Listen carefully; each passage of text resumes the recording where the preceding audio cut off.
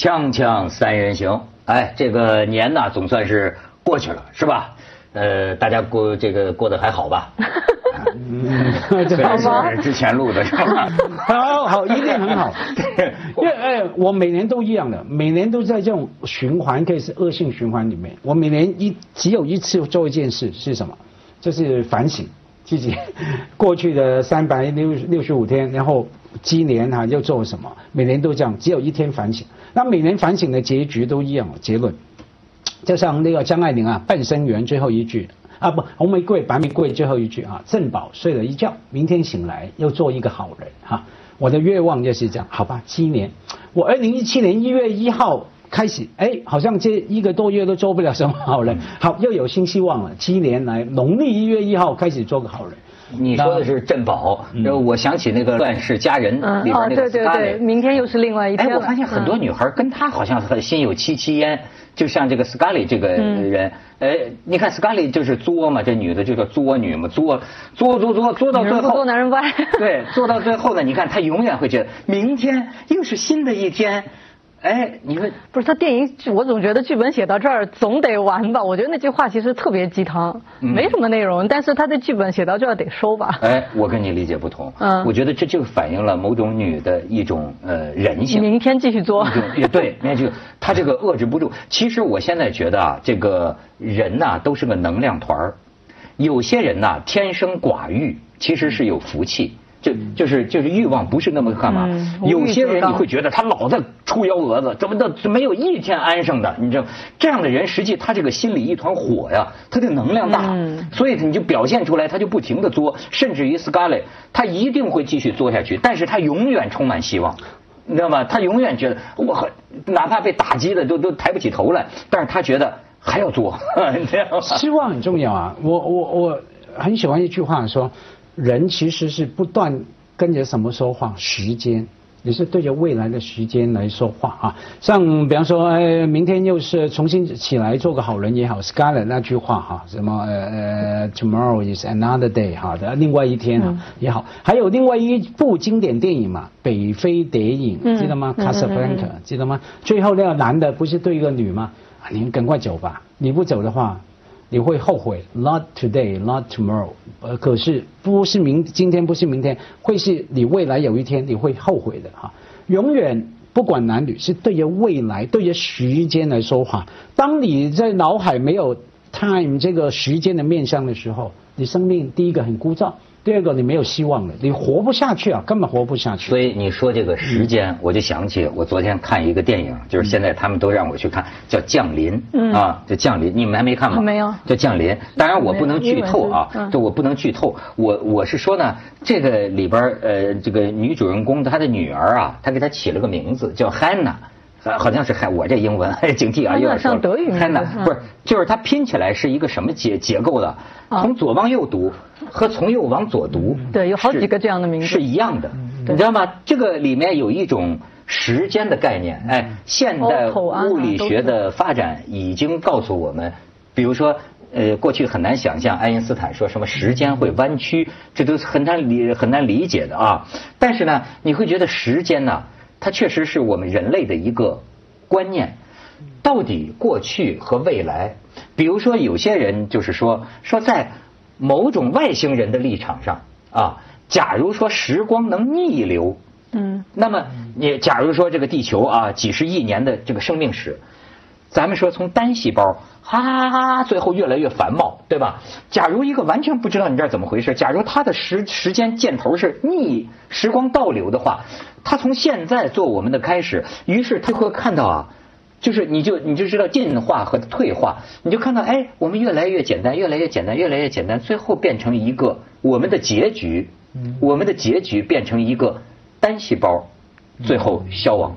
就是你明白他这个意思吗？就是可能他无论从哪个方向流，都会最后同一个结局呢？就说结束回到原点，有意思吗？就有可能这里边就说到这个呃时间是不是这个呃可逆？所以我这就说说到什么了？说到我今天要讲哪本书了？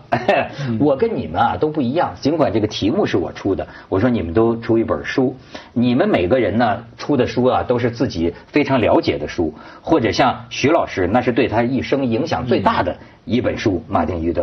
我呢是出了一本呢。我没看过的书，你不会吧？你天天引用这本书，你没看？你听我说，我是为了给我自己一个看书的压力。哎，我推荐了一本，我我出这主意的时候我还没看，但是我准备看这本书。呃，因为这本书是最近呢很多朋友在聊的一个话题。这本书就是《人类简史》，但是呢，我努力努力，我也就看了。一百三十六页，现在我这连夜看的，我今天都胃痛，你居然你不看，气死我一百三十，那但是一百三十六页，我我这个知之为知知知多少说多少，对吧？那咱就说我在这一百三十六页这个话题，我觉得已经够咱们讲半年的《锵锵三人行》了。是这个作者是以色列的一个尤瓦尔·赫拉利，跟这个义军呢 没有什么关系，是童年。对，让我觉得很这个啊，人家都。人类简史都写出来了，我自己的历史都搞不清楚。哎，我觉得这哥们儿可以称为一个思想家了。嗯，他是个思想家了。就是说，呃，我首先我看他这个书啊，呃，让我感觉到就是有一种东西，就比如说咱们现在都说，就说人的大脑都可以外置了，不用记记很多知识有什么用？就你你脑子里存很多知识。这有什么用？手机这 Google 一下全出来了，对吧？于是你不需要记什么东西。可是呢，我认为并不是这样。我我觉得呢，有些思想啊，恰恰是存在你脑子里的种种百科知识啊，互相化合。连通，你不知道它会发生什么什么化化化学反应，就像古代那个炼丹炉一样，很多炼丹的术士把东西原料放进去，他也不知道炼出来的是个什么。我觉得你如果头脑里不装知识，你写不出他这本书。他这个教授啊，可以说跨了多少个学科，对对吧？他能够跨这么多学科，他等于啊是用用他自己的观点吧，把整个这个从生物史到人类历史。就梳理了，对，他触类旁通，好多就是说信手拈来的好多能够跟现在通的东西。而且我我反正首先我把前言和后记看了，前言人家说的 快战法，没有，我中间也看了。关键是人家说的特别好，说你几百页的书怎么能把人类简史写清楚？其实看到最后是什么呢？他说的是哲学，是他自己的那套哲学观点，他怎么来看待这些问题？呃，但是呢，他的这个考古学的依据啊，对，很扎实。我我判断很多的。都是，就是说我至少我无法反驳他。我也这么想，我想反驳，我没有这个力量。我无法反驳他。我们看看这个这个一个一个照片，我跟你说从哪儿说起。你看这个人类简史，你再看这张照片，你能想象到吗？就是说，在十万年前，目前考古证据已知的至少存在六种人类，六个人种。这是其中比较有名的一种，叫尼安德塔人。你你以为尼安德塔人是什么猿猴一样的模样吗？不是。他们当中至少有一部分人是皮肤白皙的，蛮像伟杰的，就是这个，有点像伟杰。哎，没有，是欧洲人和阿拉伯人现在的血液当中百分之三十尼安德塔人。你看复原出来的，你看有柔软的头发、白皙的皮肤，一个孩子，他是就跟我们啊这么样的这个呃 接近，但是你知道，这个我们跟我们这么样的接近。可是也有可能，当时我们的祖先叫智人，也有可能我们的智人见到它呢，会觉得是另一种动物。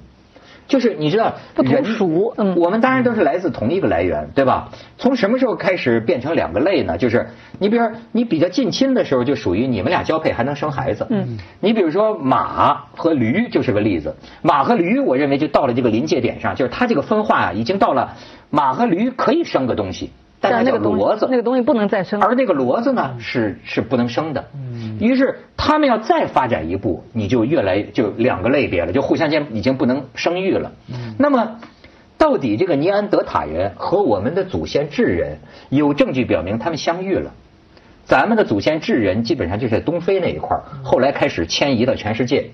那么今天我们的基因里边发现的大概有百分之一到百分之四。尼安德特人的。是欧洲人和中东人，不是我们，我们我我们是直立人，都亚洲是直立人。我但是祖先都是这个智人的祖先，嗯就是说，哎，不智人和另外一种人的。可能是交配的这个结果，就是说百分之一到百分之四，这个是一个什么意思呢？就是说，显然这两个人种啊没有发生大面积的交配，嗯，估计是几个偷情的，咣咣混了一点那么偷偷家屋配的鸡是一样吗？有说吗？说。没没没说不要看，你这个问题也很有趣，这个很有趣啊，很有趣对他不，他一个是说是偷情，还有一个他就说可能是我们把他们灭了，最最后剩下那一点尼安德塔人和直立人他们就投降了，那我们就融入到智人当中去。哎，也说不定我们今天的六十四世里面有几世就来自尼安德塔氏。锵锵三人行，广告之后见。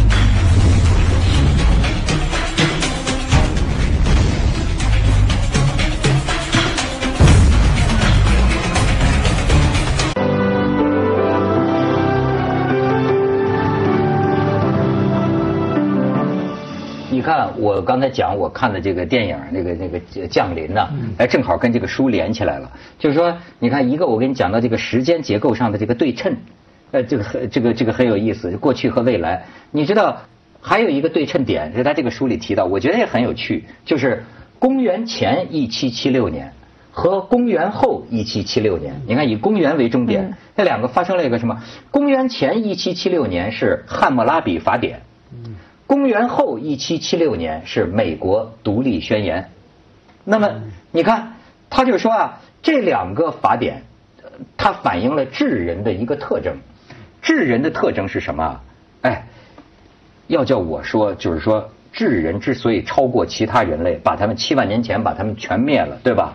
是因为谎言。哎，或者说撒谎的最高境界是自己都信了。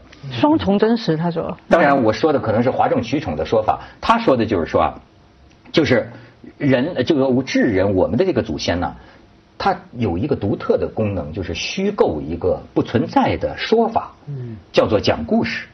那么就这个靠着这个讲故事，比如说圣经也是一个故事，它能够让素不相识的各个大陆完全不相识的几百万人合作做一件事儿。所以你其他物种啊。单兵作战能力你肯定厉害，但是你团结不起几百万人，靠着这个他就，而且呢，他很多想法我觉得是颠覆性的。嗯，比方说他说《汉谟拉比法典》里边规定，也是都是以神的名义，以讲故事的名义，神的名义说话，说人啊分成是这个这个上等人，分成奴隶，分成平民，对吧？他说同样，即便在美国一七七六年的。独立宣言，所以美国现在反 Trump 这些女女妇女们游行，实际上在一七七六年的独立宣言里，女人的权利就低于男人，他就是这，但是那个时候也是以上帝的名义，都是声称以上帝的名义，这是天经地义的，对吧？他说，但是你看，人类只要改一个说法，男女平等，好像他现在大家觉得男女平等又是一个。神圣不可侵犯的，人生而平等是上帝的律令。你讲了半天还没讲，跟你先前讲的版本不太一样。我记得他以前在其他节目，对对，我专我专门查了，我一直想他这个八卦这个词真的是 gossip 吗？后来我查了他那个英文原文就是 gossip，真的是八卦。我原来以为我们现在讲起来叫什么 narrative，就一种陈述嘛。他说的就是八卦，就是他说就是打听你们这个成员呃一百五十个人就为限嘛，你们某哪个人跟哪个人好。好，然后，其然后他说，如果即便在现代社会，一百五十人就呃这个以下，甚至不用一个首领，他们自己能够组织起来，超过就不行了，超过就要用他说的这个再大一点的这个故事结构，虚构的一个共同概念。比方说，你像他就讲，就是说人，你比如相信什么，比如说是这个公司，嗯，公司就是一个你发明出来的虚构的一个概念。公司在哪儿呢？那为什么，比如说马家辉是老板，这个老板这个退了，为什么这个公司还在？那甚甚至说这个公司的资产对吧，被卖到另一个地方去了？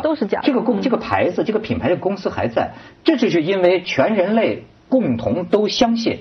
就是说智人呐，他发明了这么一个一个一个东西，一个就讲故事，讲故事呢，使得他团结了很多人。而且你比如说，他就说这个这个呃很多我出乎想象的地方，就是比方说。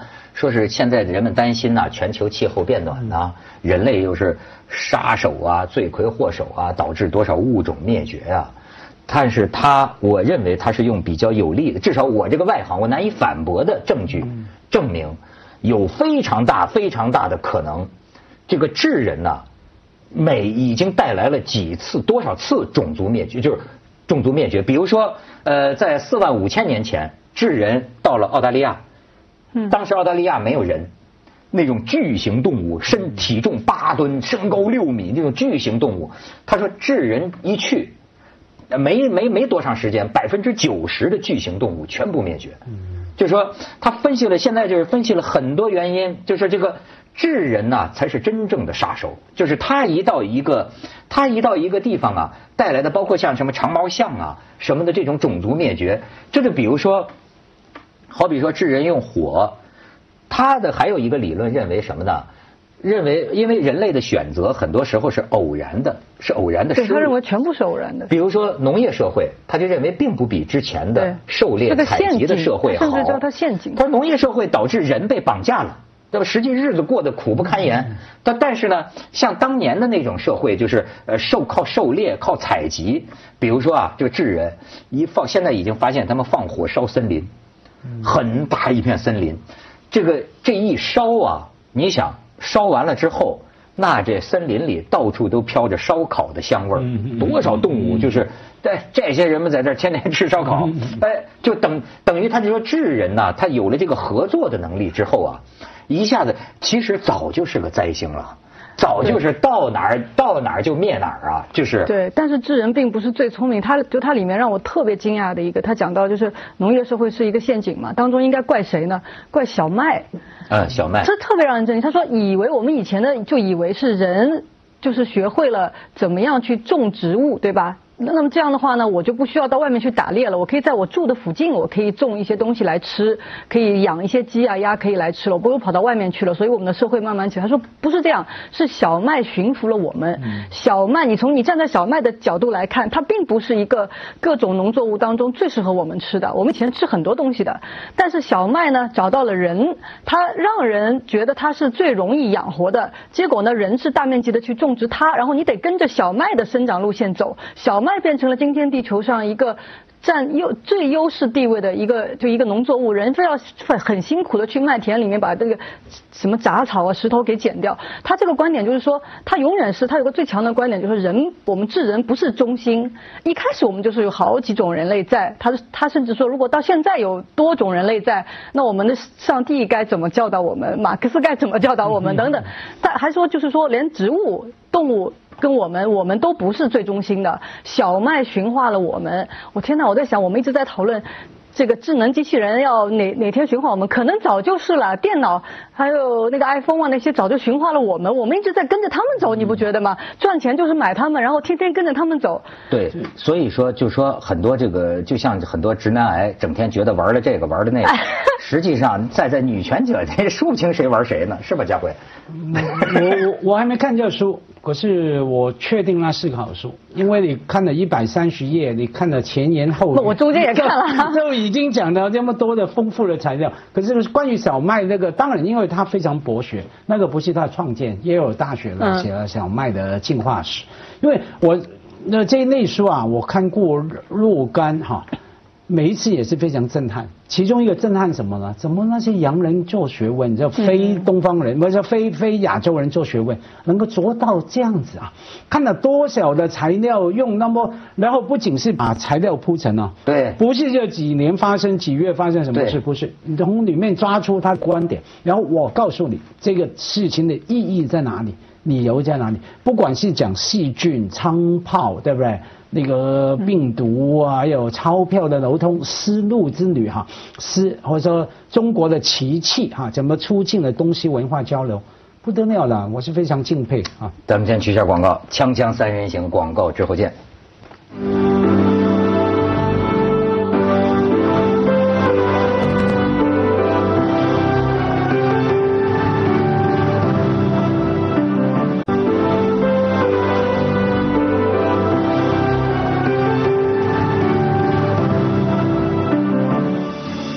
其实我印象觉得最有意思的他的一个观点就是什么呢？我们什么时候开始叫有历史？在那个之前，我们猿猴的时候，那叫动物史，你还是生物史嘛？你基本上有了文化，叫从历史开始了嘛，对吧？他就是说啊，演化这件事儿，为什么你不能叫进？就我刚才讲的时间呢？你到底是这么算还是那么算？有些时候演化没有进步和退步可言的。今天也没有什么绝对的理由说您就是进步，很难说，衡量标准太复杂。那么，比方说啊。呃，这个为什么气候变化了？像是比如说是这个哺乳动物要进到呃要进到海里，对吧？鲸鱼，像它需要几百万年的时间等待它的基因呢慢慢变化，比如说把鼻孔进化到这儿。他说，但是是为什么人？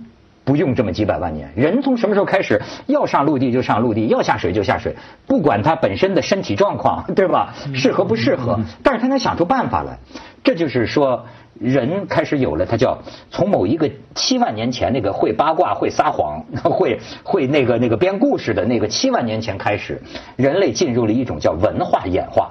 就是摆脱动物都是基因演化，人类就是文化演化。就比如说咱们这个胃根本就是农业社会以前的胃，但是你看农业社会咱一样几千年，改变食物就改变食物，换了一个说法咱就信了另一个教，对吧？就是说文化演化会让你的速度啊变得非常的快。我不晓得他，希望你赶快看完告诉我。有没有我刚说的跟时间对话的概念？因为当你说什么能够说谎，能够言说说个故事，甚至能够八卦，在我听起来就是其实其实就是当那个智人呐有了时间的概念的时候，那就不一样。他懂得号召一些人为了以后做些事情。我我这么跟你讲吧，连时间这个观念，嗯，也是智人的头脑发明的，嗯，因为这就属于虚构的、抽象的，现实里没有的嘛。他说有个东西叫时间，有个东西叫空间，这就把你其他的实在人打败了，对吧？发明这个就完全不。当然呢，心灵危机也由此产生。你看，我不能说要念了哈，我只能简单说了这个。你看，他讲快乐，他说啊，如果快乐是由期望决定的，那么我们社会的大众媒体和广告业很有可能正在让全球越来越不开心，因为假设是五千年前，全村只有五十个人。一个年轻人哈，他呢就是很有可能觉得自己是好看的，但是活在今天的青少年，你觉得自己长得不怎么样的可能性高多了，因为呢你是会在电视、脸书和巨型广告牌上看那些明星的脸来比自己，然后你看有没有可能第三世界国家之所以会对生活不满，不是不只是因为贫穷，也是因为他们看到了第一世界国家的生活标准。